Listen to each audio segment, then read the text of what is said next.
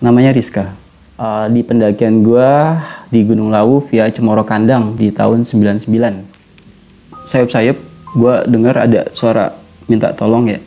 Ada seorang pendaki gitu ya. Uh, dia pegangan akar di lembah di lereng. Di lereng seperti mau jatuh gitu ya. Dan jelas sekali gue dengar suaranya minta tolong.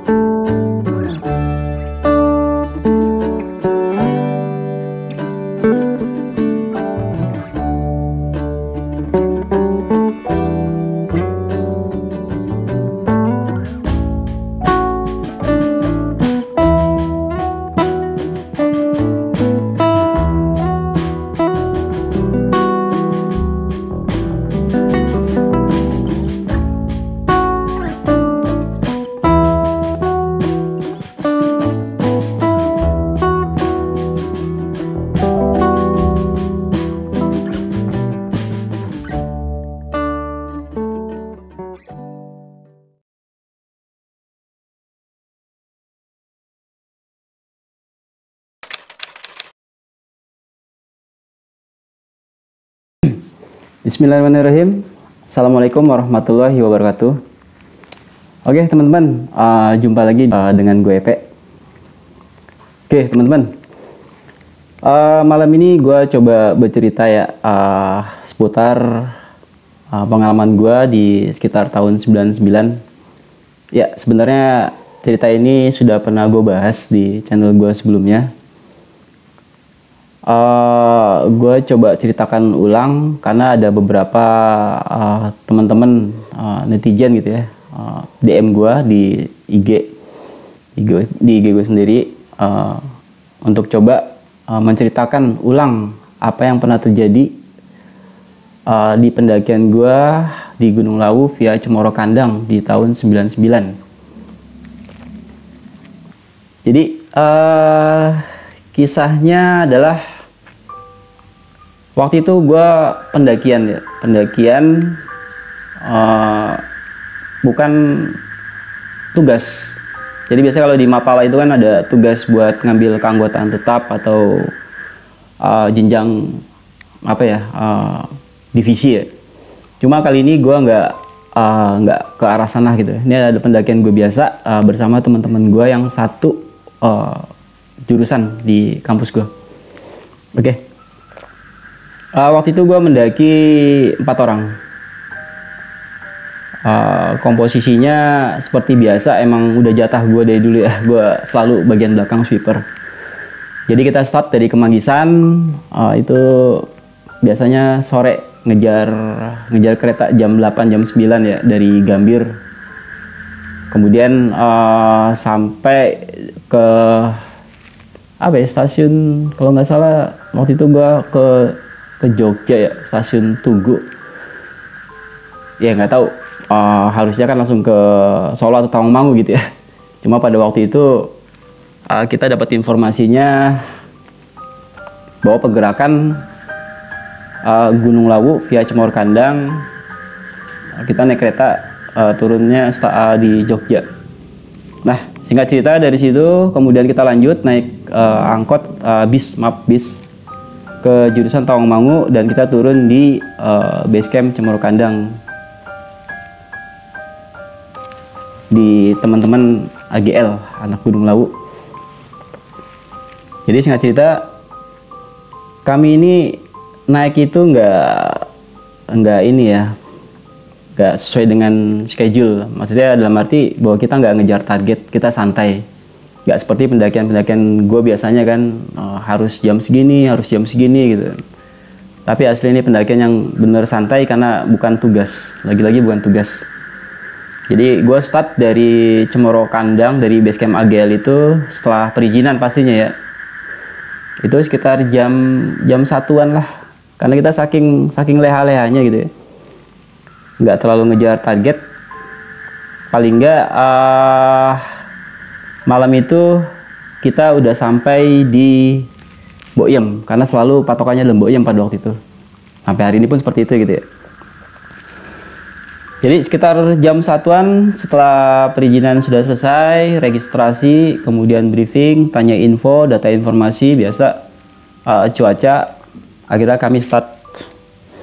Dan di awal-awal biasanya kita selalu jalan bersama gitu ya. Cuma uh, kalau kebiasaan gue dengan teman-teman ini ya, kalau sudah di pertengahan jalan itu kita udah saling agak jauh-jauhan gitu ya. Karena emang safety prosedur ya. Bukan maksudnya uh, meninggalkan teman atau apa gitu ya. Cuma uh, karena tadi bahwa kita tuh uh, malam itu boyem kita harus geber sampai ke boyem dan bahkan jarak pandang pun mungkin gue sama teman gue di depan itu sekitar 20 menit atau berapa ya, setengah jam mungkin ya. Karena jalan sendiri-sendiri. Kita nggak akan pernah khawatir karena safety prosedur tadi ya. Dan sekitar jam 5 karena gue bagian belakang uh, kita ditempa dengan hujan kondensasi yang intensitasnya lumayan agak tinggi. Uh, makanya pun uh, nggak uh, berpikir teman-teman di depan atau gimana gitu yang penting gue jalan terus akhirnya setelah maghrib ya gue istirahat ngeres bentar gitu ya. Gue mau ngeluarin center terus uh, lagi-lagi tadi uh, eh, gue sendiri. Jadi walaupun kita jalan berempat tapi di lapangan kita sendiri. Setelah gue ngeluarin center gue jalan agak agak sekitar 15 menit ya tiba-tiba center gue mati. Ini yang yang apa yang kebiasaan apa ya? Jadi hal-hal ini sering terjadi sama gue gitu ya, eh, di satu kondisi yang yang mungkin kalau dibahas agak-agak aneh gitu ya. Karena beberapa kali gue ngalamin hal seperti ini. Walaupun uh, itu adalah center baru atau gue selalu bawa cadangan. Jadi walaupun gue ganti baterai atau gue ganti apa lah lampu uh, eh, gue tetap ngalamin sesuatu yang sama gitu. Tiba-tiba center itu mati. Itu sekitar jam jam 7 jam 8 ya kalau nggak salah ya. Dan gue sudah menge, uh, apa uh, mendekati pos 5 pada waktu itu. Gue ingat banget itu udah mau sampai pos 5 jadi kalau zaman dulu itu uh, pos 5 itu di atas gue nggak tahu ya kalau sekarang ya Cemoro Kandang itu seperti apa cuma pada waktu zaman gue itu di pos 5 itu adalah tempat dataran tempat dataran dan situ ada seng waktu itu dan lumayan anginnya kenceng kalau kita uh, ngelintasin tempat itu. Nah, sebelum sampai di sana, tadi yang gue ceritakan bahwa gue ngalamin satu kondisi bahwa senter gue mati di sana. Dan gue berapa kali ganti baterai, uh, buah lampu, tetap gue ngalamin hal yang sama. Apalagi ditambah uh, tadi hujan kondensasi yang intensitasnya itu tinggi buat gue pada waktu itu ya.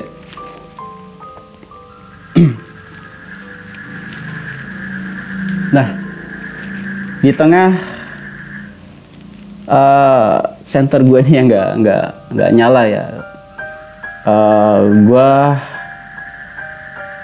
coba pakai uh, sistem trik. Ya. Biasanya gue pakai trik yang kalau gue ajarin ke teman-teman di pendaki atau di siswa gue, bahwa kita punya aqua ya, wah sorry, uh, kita punya botol air mineral.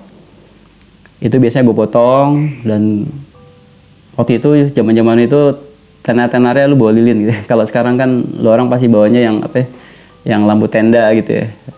Yang pakai power bank yang dicas gitu cuma uh, zaman-zaman itu kita masih pakai lilin buat penerangan di tenda.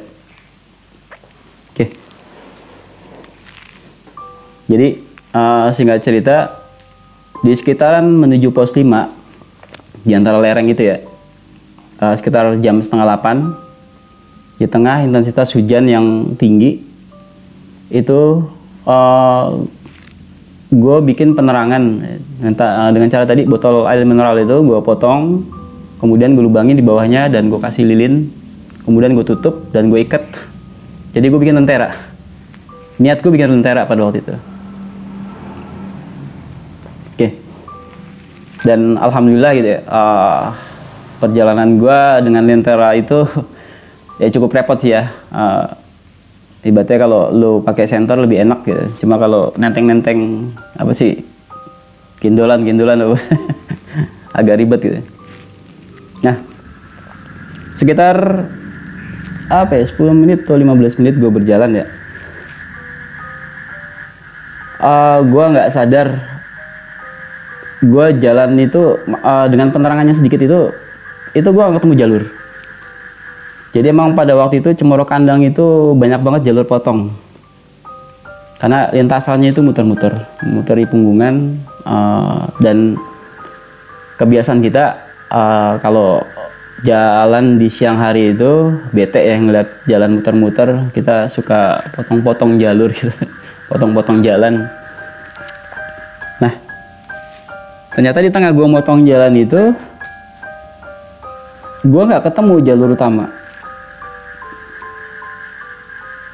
Terus saya gue gue gue coba uh, di apa ya pakai pakai aqua dengan penerangan lilin penerangan sedikit ya susah juga ya buat nemuin jalur apalagi di tengah uh, hujan kondensasi Nah, di tengah gue nggak nemu jalur itu,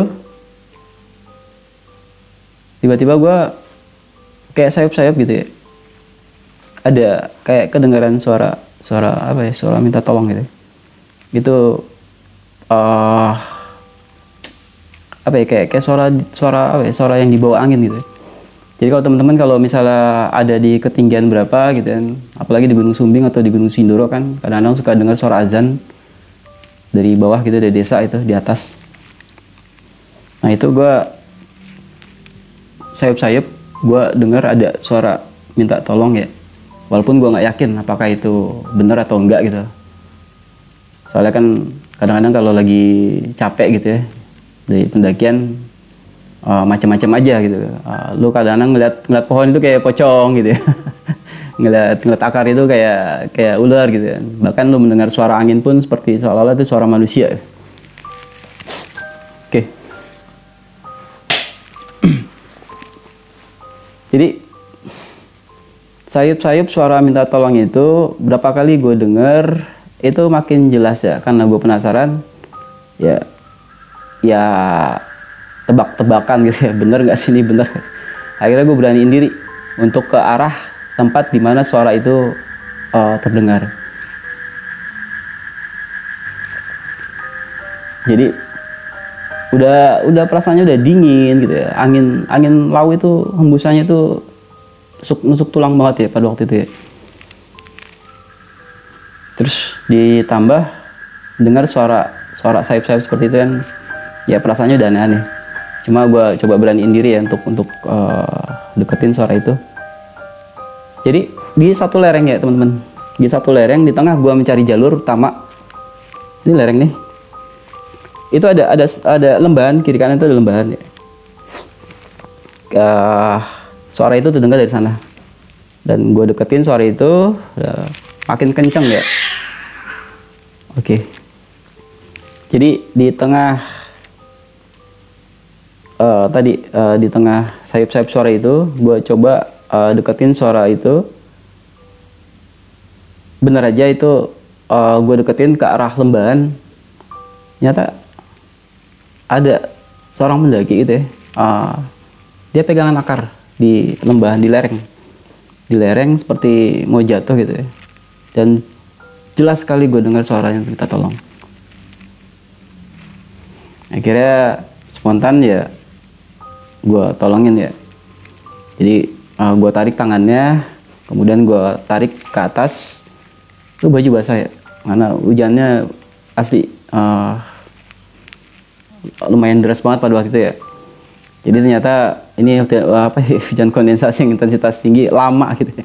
yang gue pikir tadi sebentar ternyata lama sepanjang jalan itu gue ditempa terus dengan hujan kondensasi itu oke okay. Setelah gue tarik ke atas uh, mendaki ini itu kusut banget ya.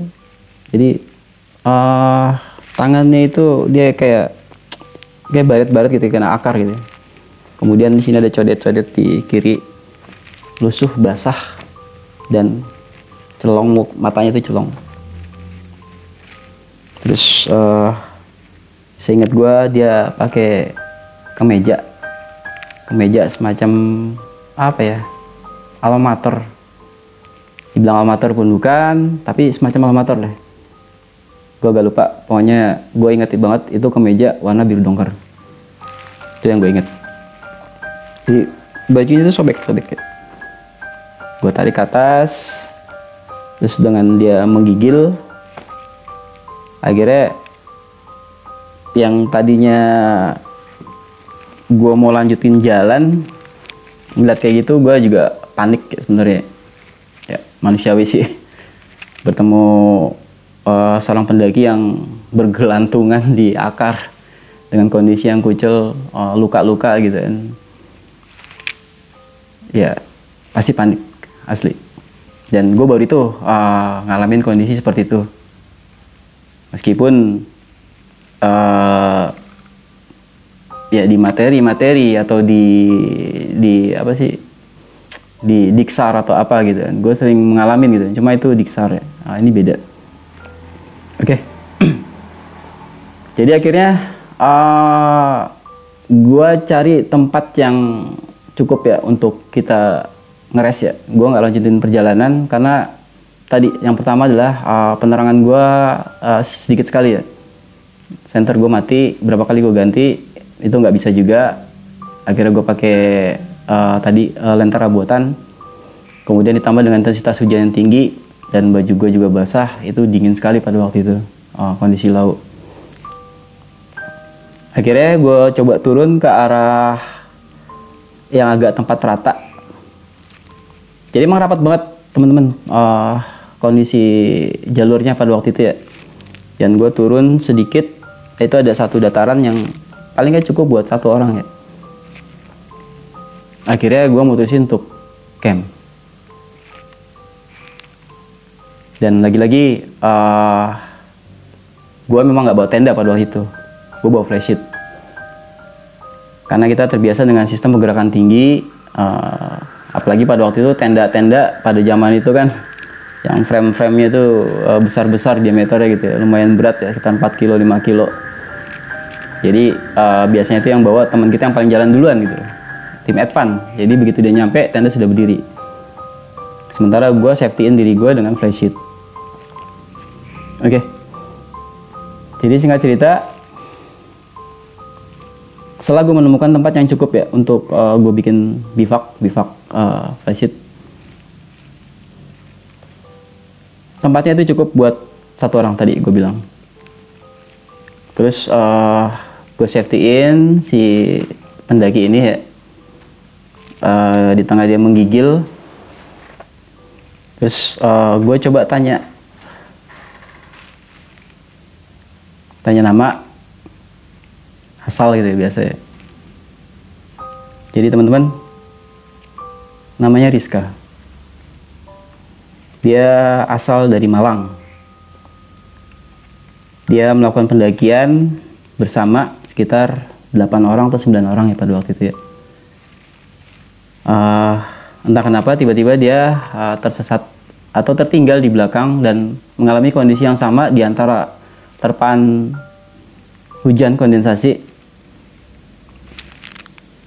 Kemudian dia tergelincir ke lembahan. Dan terakhir, itulah terakhir dia pegangan akar dan dia mendengar suara langkah kaki, dia teriak, akhirnya bertemu dengan gua.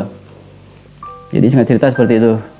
Apa yang diceritakan sama Rizka. Oke. Jadi di malam itu ya teman-teman ya uh, eh,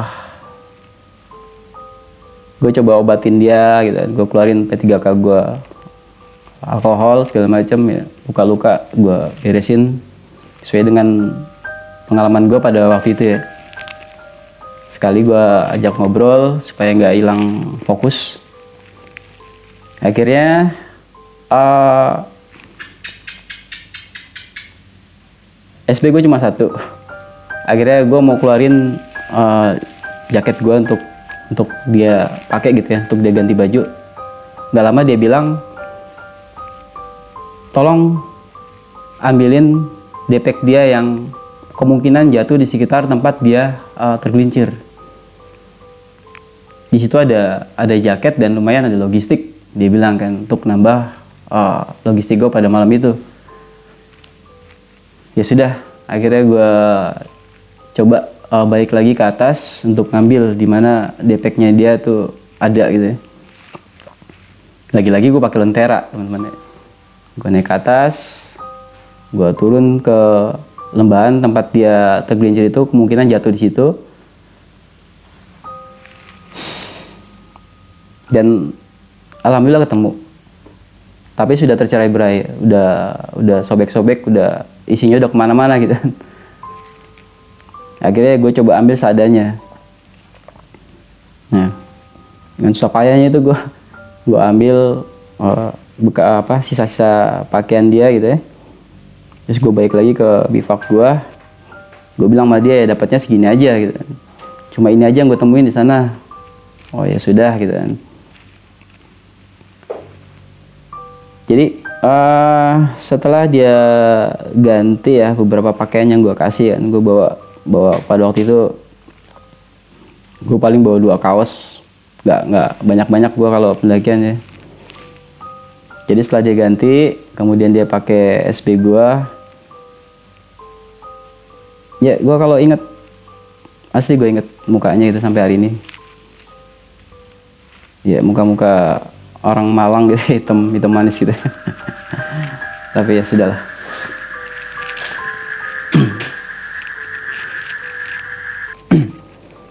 Oke, okay, teman-teman.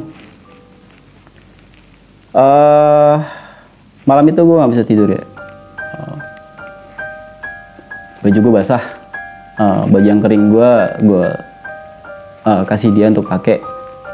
SB gue kasih dia gitu kan uh, jadi gue biarin dia ngeres sementara gue masih di depan bivak uh, gue untungnya gue bawa parafin jadi kebiasaan gue bawa parafin untuk penghangat gue di jalur biasanya kan. Karena gue gali tanah gue taruh parafin di dalamnya terus gue bakar gue ngangetin diri di sana. Sementara gue bakar apa uh, nyalain kompor gitu jadi uh, setelah setelah gue bikin teh manis, gue bikin uh, Indomie ya, mie, mie rebus ya, waktu itu mie rebus telur. Ya, cukup lah uh, buat makan malam itu. Karena gue ngitung perbekalan, tadi gue masak nasi, cuma dia nggak uh, mungkin gitu, nggak nggak akan terima asupan itu gitu. Gue tawarin juga dia nggak mau gitu. Biasa kalau ya mungkin gejala hipo hiporingan gitu ya. Kadang-kadang kalau hiporingan untuk uh, pendaki perempuan itu uh, mual perutnya. Jadi nggak nggak bisa lo kasih asupan yang terlalu berat. Jadi paling nggak lo kasih uh, teh anget, kemudian uh, kuah-kuah Indomie gitu ya, kuah-kuah mie. Tambahin telur atau apa gitu ya. ya itu case biasa. Jadi malam itu begitu dia ngeres, gue tetap di depan perapian gak lama dia terbangun ya terus uh, dia tahu-tahu dia cerita bahwa dia gelisah. Karena pendakian itu dia nggak izin sama nyokapnya. Jadi dia selalu bilang kalau mungkin kejadian itu karena karena dia nggak dapat izin kali ya sama uh, nyokapnya. Jadi dia ngalamin satu kondisi yang seperti itu. Dan dia tanya sama gue gimana uh, cara ngomong sama nyokapnya gitu. Dan pasti dia akan dimarahin abis di sana. Jadi teman-teman dia cerita bahwa dia dua saudara. Dia punya kakak. Namanya Mbak Ratih. Kemudian Uh, dia di rumah tinggal bertiga sama ibunya. Karena bapaknya udah nggak ada. Jadi yang biayain dia sekolah sampai dia kuliah itu adalah kakaknya. Dan sesekali ibunya juga suka nasihatin gitu. Jadi uh, apa ya? Jangan sia-siain gitu ya. Uh, biaya yang udah dikeluarin sama kakak lu gitu kan udah sampai segitunya gitu. dan dia keinget itu aja jadi dia keinget eh, nasihat-nasihat nyokapnya gitu ya yang bikin dia ngerasa bersalah. Harusnya dia nggak harusnya dia izin dulu gitu. Uh, dia ngelakuin pendakian ini gitu. Apalagi dia harus ngomong apa sama ibunya dan sama Mbak Ratih. Itu yang yang gue inget dia cerita sampai hari ini ya. Akhirnya gue coba bercanda ya gue coba bercandain. Gue coba ceritain sama dia gitu kalau gue waktu masih masih SD gitu ya kalau rapot gue merah gue pernah ya teman gue pernah dapat nilai merah satu gitu ya. Biasanya kalau rapot di SD itu kan lo harus tanda tangan orang tua gitu ya untuk lo kembalikan lagi kepada guru wali kelas. Gue ceritain sama Rizka ya. Gue kalau minta tanda tangan bokap itu itu selalu habis subuh. Begitu gue berangkat sekolah bokap masih antara almarhum bokap masih antara eh, ngantuk-ngantuk gitu ya gue bangunin pak tanda tangan dong gitu. Jadi dia nggak dia nggak nggak nggak ngelihat gitu. Nggak ngelihat apa yang ditandatangin sama dia. Eh gue pikiran itu ya. Akhirnya gue kasih tahu sama dia gimana kalau kamu uh, bikin permohonan maaf sama bu nggak harus ngomong. Kamu cukup tulis surat terus kamu kasih dia gitu kan sebelum kamu berangkat kuliah.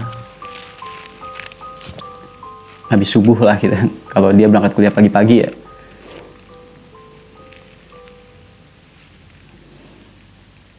Akhirnya ya sudah kata dia tapi dia minta tolong dibikinin karena uh, uh, gue lupa uh, sorry.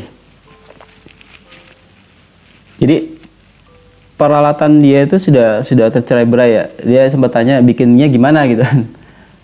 Kan harus pakai kertas segala macam kan. Dan akhirnya ya kebetulan gue selalu bawa peralatan tulis ya. Ya teman-teman gue terbiasa dengan catatan ya kalau lagi naik gunung. Ya kebetulan gue punya kertas dan pulpen ya. Peta juga gue bawa. Insya Allah gue lengkap safety prosedur jadi begitu dia minta minta tolong sama gue buatin surat ya sudah akhirnya gue ambil uh, satu apa ya buku buku kecil ya gue buku kecil pada waktu itu ya. Gue sobek terus gue bikin.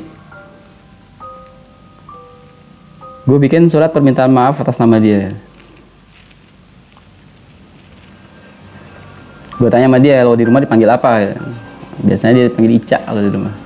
Oh ya udah. Akhirnya gue bikin di situ. Seingat gue yang paling gue inget ya kata-kata terakhir ya maafkan maafin Ica bun maafin Ica bun gitu. Karena dia manggilnya bunda. Itu yang gue inget jadi malam itu gue tulisin itu surat. Terus akhirnya gue lipat masukin kantong ya udah nih nanti kalau udah pulang awas jangan sampai basah gue bilang kan. Ntar kalau kita udah turun lu udah ketemu sama teman-teman lu lu sudah pulang ke uh, rumah ya kasih nih catatan sebagai permintaan maaf lu karena lu nggak izin sama nyokap lu pada waktu itu. Ya sudah akhirnya gue ngeliat asli gue ngeliat dia senyum pada waktu itu ya. Yang tadinya bete kucel muka pucat ya. Ya alhamdulillah agak baikan dan senyum gitu. Bahkan dia bilang kalau gua turun ya sempetin mampir. Kapan aja gua naik gunung sempetin gua mampir ke sana dikasih gua ancar-ancar alamatnya ketemu almarhum bapak ini gitu kan. Rumah sekian desa sekian gitu. Ya itu gua inget banget. Akhirnya ya udah gue suruh istirahat lagi. Gue suruh istirahat sambil gue nunggu nungguin dia gitu. Jadi lo gak usah khawatir lo istirahat biar gue aja yang yang jaga di sini.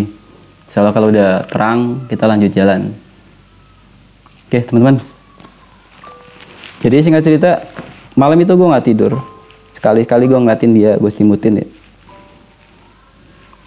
gak lama uh, asli malam itu panjang banget ya gue ngeliat jam kadang ngeliat jam. Dari dari jam ya, dari jam kejadian jam jam 8 jam 9 lah sampai gue masakin sampai dia istirahat kita jam 11an jadi sekali sekali gue ngeliat jam jam 1 jam 2 itu malam itu panjang banget sampai nggak lama gue lelah gue tiduran ya teman-teman ya. Jadi iya. di tengah apa ya di tengah lumut dan akar gitu. Dan kain tadi yang warna biru. Jadi gue ngeliat ini ada kerangka aja sini. Jadi gue ngeliat tulang ya temen gue ngeliat tulang posisinya seperti ini ojo lewat kene dek ojo lewat kene dek dia bilang. Terus aja dia ngomong kayak gitu